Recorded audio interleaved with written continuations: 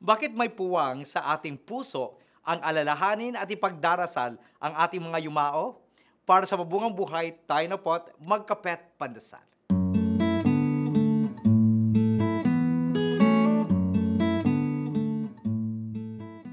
Pinaparangalan natin ang ating mga yumao bilang inaalala natin sila. Isa itong pagbibigay pugay sa epekto nila sa ating buhay. We can reflect on the moments we shared, the contributions they made, and the way they touch our souls. Nagiging bahagi din ito sa proseso ng pagpapagaling.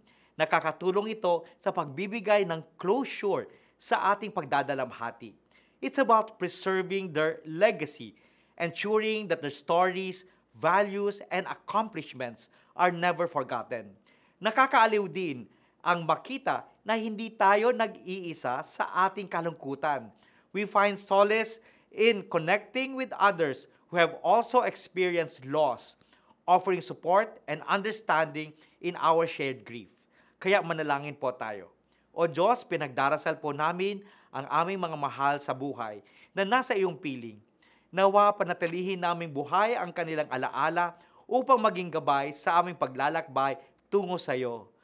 Amen.